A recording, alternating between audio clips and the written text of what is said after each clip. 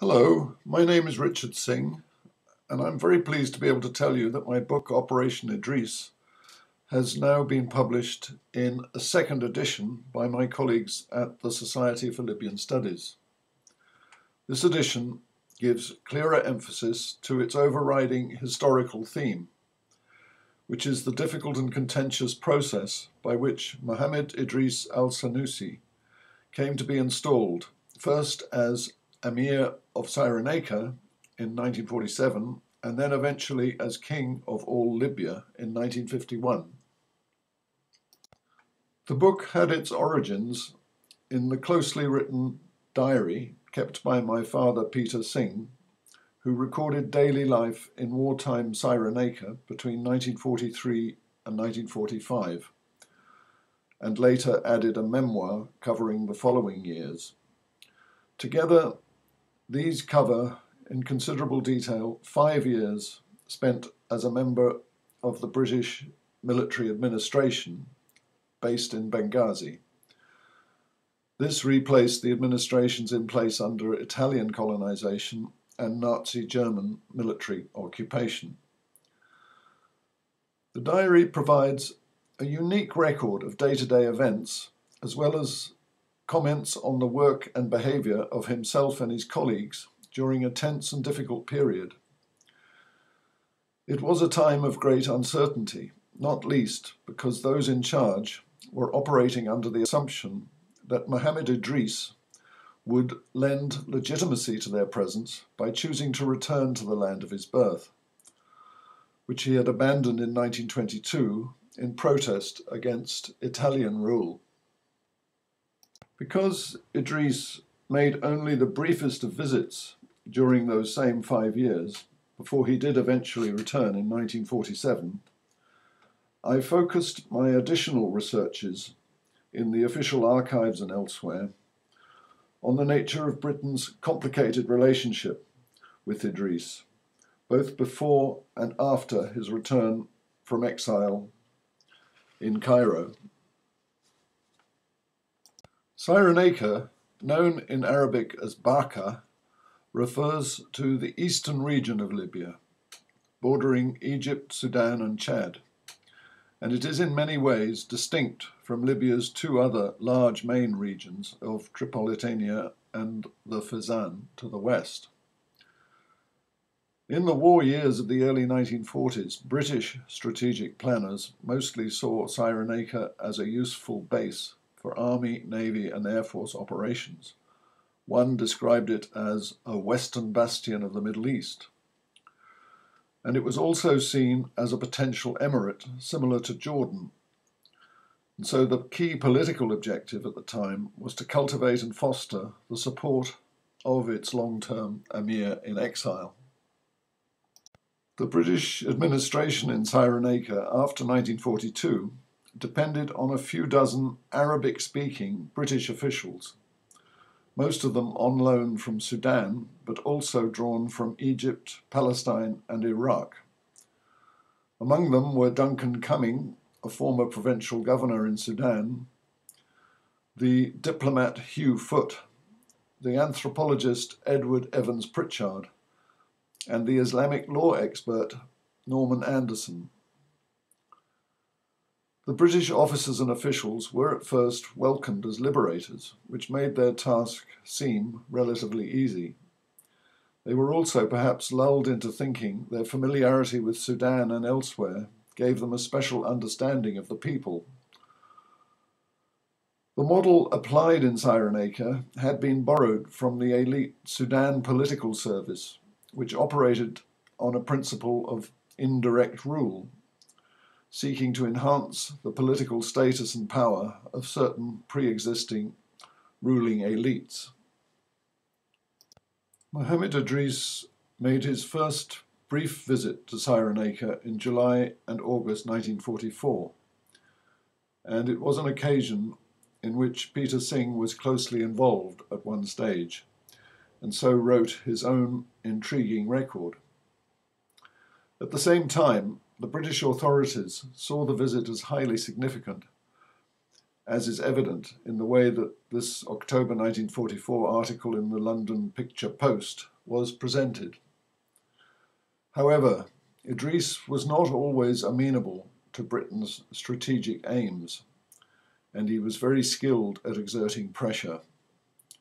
He stayed only a few weeks and then returned to Egypt, where he would remain until he could negotiate better terms. Even after the war ended, he continued to be an elusive and frustrating partner in the enactment of Britain's strategic ambitions. Until the Allied powers could agree on the future status of the whole of Libya, Cyrenaica remained in diplomatic limbo. On the ground, the reality was of continued military occupation but this increasingly exposed the administration to the risk of political hostility. Although Britain was at this time dismantling its empire, uh, starting with India, it is interesting to note how it was also prepared to spend diplomatic effort and significant financial resources to keep Cyrenaica within the British sphere of influence. The archives show that by 1946, the most relevant negotiations were those held in secret in Cairo between Idris and the man who had first headed the administration in Cyrenaica, Duncan Cumming. While Idris was pushing hard to install his own government, Cumming was telling his superiors, We will continue to press for a settlement leading to the independence of Cyrenaica provided Idris will promise us the military facilities we require. The negotiations reached a new pitch in early 1947 over the award to Idris of a knighthood of the British Empire in official recognition of his loyalty during the war. Before the ceremony was due to take place in Benghazi, Idris literally refused to board the train out of Cairo until he received £2,000 in cash. A substantial amount of money at the time, perhaps 100,000 in current values. Cumming handed over the money and the ceremony went ahead in January 1947. The British had hoped that Idris, who was from this point onwards officially referred to as the Amir, would remain in Benghazi after the investiture, but once again he returned to Cairo and refused to take up residence until his demands were met for a civilian government with him, with him at the head, and for Britain to provide his official residences, his vehicles, and pay all his official expenses. The last months of 1947 were a turning point, as Idris got everything he demanded including a purge of certain British officials, including Peter Synge, who had expressed unease about the terms of the new order. The deal with Idris effect effectively installed him as an autocratic ruler without credible democratic checks and balances. But the issue that did most to split opinion among the British in Cyrenaica was the distribution of the best farmland to Idris's closest relations, none of whom had had, had any experience of or interest in farming. Idris may have been a gentle, indeed a very spiritual man with great virtues, but his 100 or so cousins were another matter, and in the years that followed, their political and economic dominance would eventually serve to undermine Idris's own popularity and appeal. When Idris finally arrived to take up permanent residence in November 1947, the palace originally built for an infamous Italian governor, Rodolfo Graziani, was refurbished to accommodate the emir and his household, and another four or five large houses across the province were made over for his private use. On the 1st of June 1949, Idris went on to make a unilateral proclamation of independence for Cyrenaica alone. The British press, without exception, reported entirely favourably on the, on the move, and Idris paid his only official visit to Britain. After his return, he took over the reins of power in coordination with the chief administrator, who now became known as the British resident.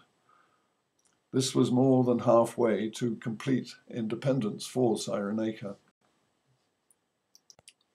This tight and exclusive British Cyrenaican relationship lasted only two years and came to an end because the fledgling United Nations saw the wider Libyan arena as a testbed for its own authority.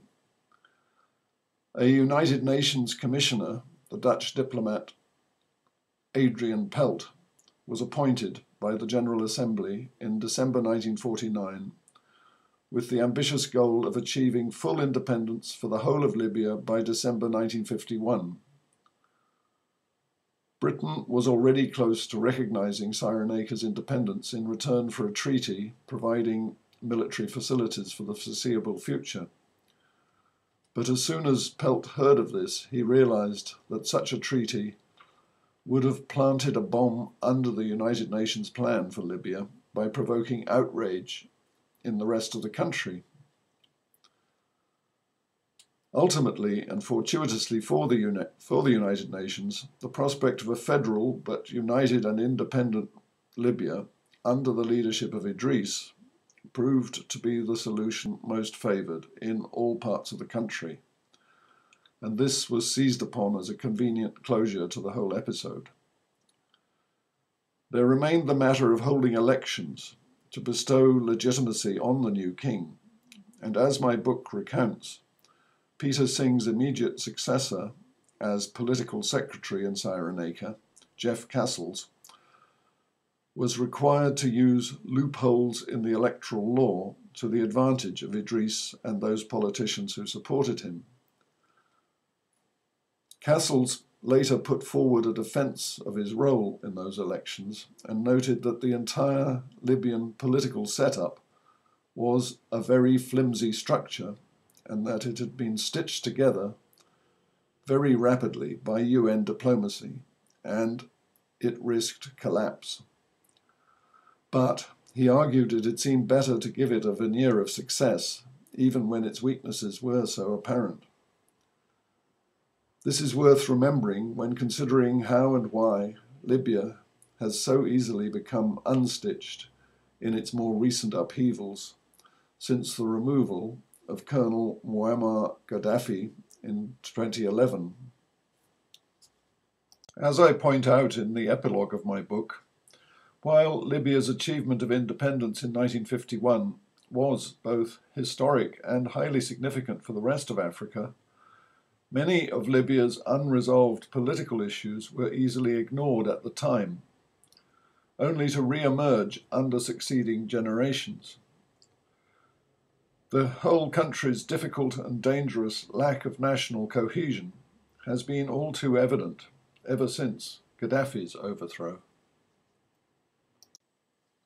The British administration of the 1940s obviously helped lay the basis for Libyan independence, but it would also appear to have lacked democratic accountability and to have reinforced the country's inherent regional differences.